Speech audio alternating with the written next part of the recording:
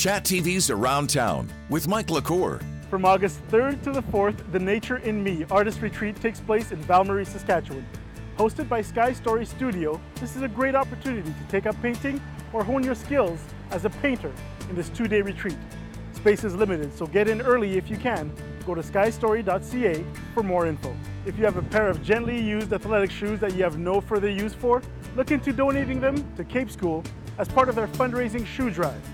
Throughout summer until the end of September, Cape School will be accepting shoes of any size at the school office or select locations around the city. If you have an event you would like featured, send it to Around Town.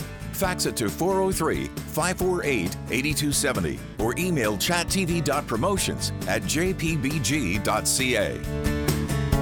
Mike LaCour's clothing provided by Del Rossi Menswear, downtown on 3rd Street.